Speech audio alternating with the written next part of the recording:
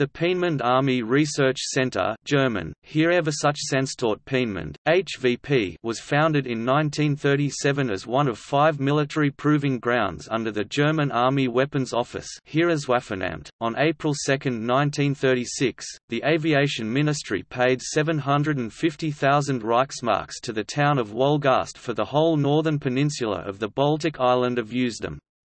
By the middle of 1938, the Army facility had been separated from the Luftwaffe facility and was nearly complete, with personnel moved from Kummersdorf.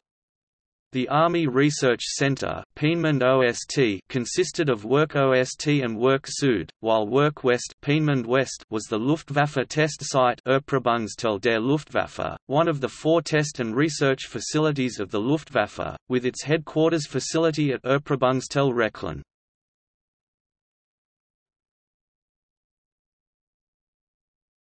HVP organization. Wernher von Braun was the HVP technical director, Dr. Walter Thiel was deputy director, and there were nine major departments. Technical Design Office, Walter J. H. Papa Riedel. Aeroballistics and Mathematics Laboratory, Drive. Hermann Steuding. Wind Tunnel Drive. Rudolf Hermann Materials Laboratory Drive.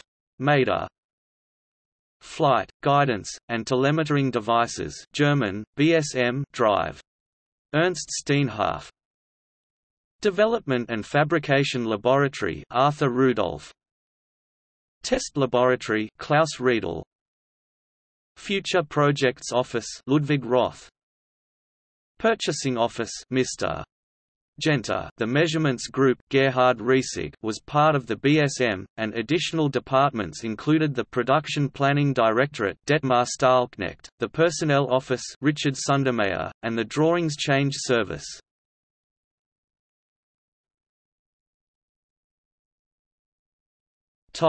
Guided missile and rocket development Several German guided missiles and rockets of World War II were developed by the HVP, including the V-2 rocket A4 C test launches, and the Wasserfall 35 Peenemünde trial firings, Schmetterling, Rheintochter, Taifun, and Ingen missiles. The HVP also performed preliminary design work on very long-range missiles for use against the United States. That project was sometimes called V3 and its existence is well documented. The Peenemünde establishment also developed other technologies such as the first closed-circuit television system in the world, installed at Test Stand 7 to track the launching rockets.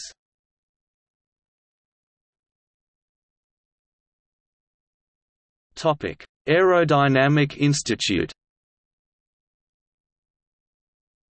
The supersonic wind tunnel at Peenemünde's Aerodynamic Institute. Eventually had nozzles for speeds up to the record speed of Mach 4.4 in 1942 or 1943, as well as an innovative desiccant system to reduce the condensation clouding caused by the use of liquid oxygen, in 1940 led by Rudolf Hermann who arrived in April 1937 from the University of Aachen. The number of technical staff members reached 200 in 1943, and it also included Hermann Kurzweg of the University of Leipzig and Walter Haeussermann.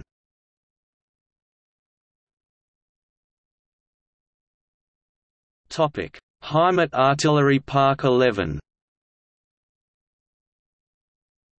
Initially set up under the HVP as a rocket training battery number 444, Heimat Artillery Park 11 Karlshagen, Pomerania HAP 11 also contained the AA Research Command North for the testing of anti-aircraft rockets.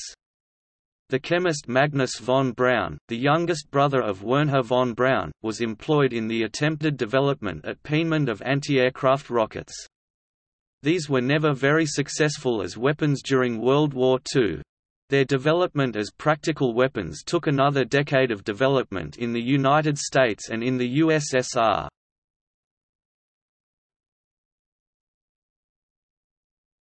Peenemünde V2 production plant In November 1938, Walter von Brauchitsch ordered construction of an A4 production plant at Peenemünde, and in January 1939, Walter Dornberger created a subsection of WA Pruf 11 for planning the Peenemünde production plant project, headed by G. Schubert, a senior Army civil servant.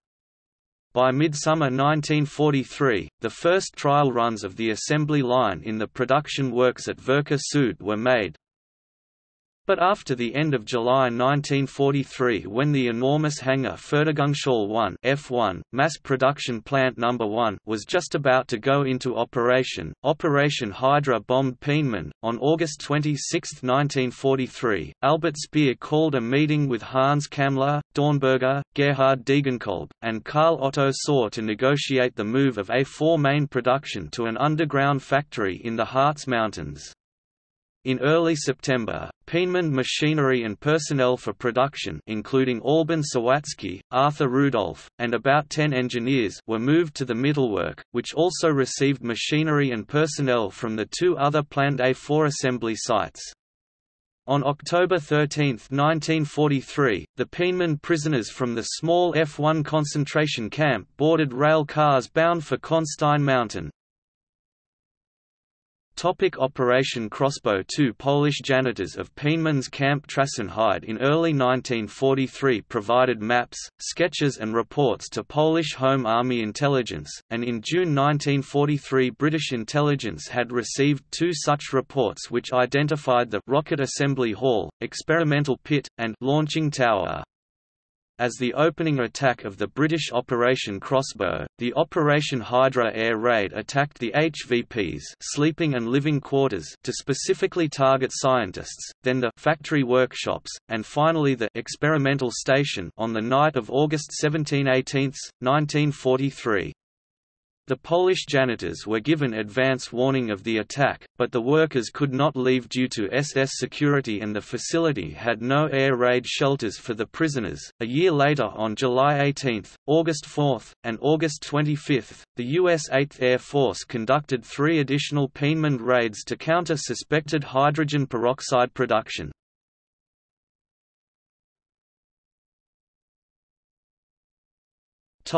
Evacuation As with the move of the V-2 production works to the Mittelwerk, the complete withdrawal of the development of guided missiles was approved by the Army and SS in October 1943. On August 26, 1943, at a meeting in Albert Speer's office, Hans Kammler suggested moving the A4 development works to a proposed underground site in Austria. After a site survey in September by Papa Riedel and Schubert, Kammler chose the code name Zement cement for it in December, and worked to blast an underground cavern into a cliff in Ebensee near Lake Traunsee commenced in January 1944. To build the underground tunnels, a concentration camp a sub-unit of Mauthausen was erected in the vicinity of the planned production sites. In early 1944, construction work started for the test stands and launching pads in the Austrian Alps code name Salamander, with target areas planned for the Tatra Mountains, the Arlberg Range, and the area of the Ortler Mountain. Other evacuation locations included Hans Lindenmeyer's valve laboratory near Friedland moved to a castle near the village of Leutenberg, 10 kilometers 6 miles south of Saalfeld near the Bavarian border. The materials testing laboratory moved to an air base at Anklam. The wind tunnels moved to Kochel then after the war, to the White Oak, Maryland located U.S. Navy's Naval Ordnance Laboratory, Engine testing and calibration to La Thuringiava people being relocated from Peenemünde, the new organisation was to be designated Entwicklungsgemeinschaft Mittelbau English, Mittelbau Development Company and Kammler's order to relocate to Thuringia arrived by teleprinter on January 31, 1945. On February 3, 1945, at the last meeting at Peenemünde held regarding the relocation, the HVP consisted of A4 development, modification 1940 people, a 4B development 27, Wasserfall and Taifun development 1455, support and administration 760. The first train departed on February 17 with 525 people en route to Thuringia including Bleicherode, Sangerhausen district, and Bad Sachsa and the evacuation was complete in mid-March. Poland Another reaction to the aerial bombing was the creation of a backup research test range near Blizna, in southeastern Poland. Carefully camouflaged, this secret facility was built by 2,000 prisoners from the Pustkow concentration camp.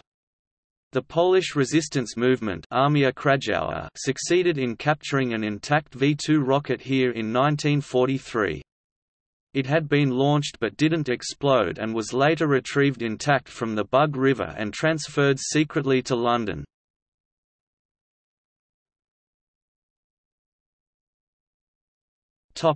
Post-war The last V-2 launch at Peenemünde happened in February 1945, and on May 5, 1945, the soldiers of the Soviet Second Belorussian Front under General Konstantin Rokossovsky captured the seaport of Swinemund and all of Usedom Island.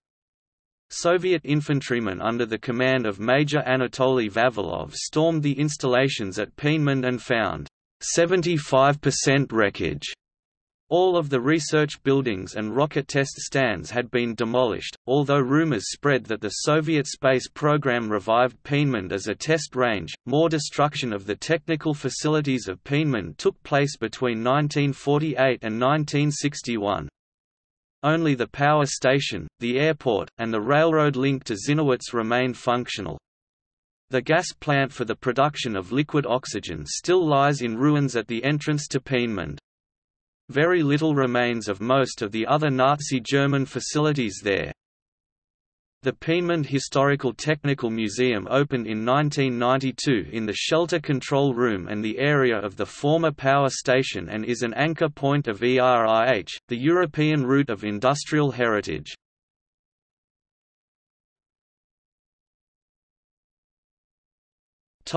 In popular culture Peenemünde is a setting in the novels Fatherland, Gravity's Rainbow, Moonraker, The Rhineman Exchange, The Way the Crow Flies, and Space. In the novels of the colonization series, and in some other novels, Peenemünde survived World War II and later became a major space exploration launch center. The 1965 British thriller Operation Crossbow is a highly fictionalized account of the Nazi development of the V-1 and V-2 and the Anglo-American campaign to interdict it. The Nazi occupation of Poland and the Allied bombing of Peenemünde are depicted in the British feature film Battle of the V-1 1958 called Missiles from Hell in the United States and some other countries, which starred the actor Michael Rennie. In the second book of the Danger Boy series of time travel tales, written by Mark London Williams, Dragon Sword, Peenemünde becomes a key setting in this and in the further novels. In the movie The Cockpit, Peenemünde becomes a test site for atomic bombs. In the film The Hindenburg 1975, the German countess played by Anne Bancroft leaves Germany because her estate in Peenemünde has been confiscated by the Nazi Germans. In the comic book, Ministry of Space, by Warren Ellis, Peenemünde gets captured by the British Army. In the novelization of the film Doctor Strangelove or, How I Learned to Stop Worrying and Love the Bomb, written by Peter George, an explanation is given that the title character, Doctor Strangelove, had been wounded, and these wounds had left him with only one hand, and wheelchair-bound, because of the bombings of Peenemünde while he worked there for Nazi Germany. In the television series, UFO Hunters, episode 305, Nazi UFOs, the hunters visit Peenemünde to track down evidence and interview experts about a rumored Nazi space exploration program that took place there.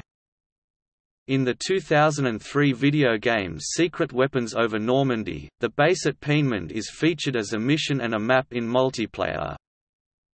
In the 2017 video game Call of Duty, World War II, the base at Peenemünde is featured as a map in multiplayer.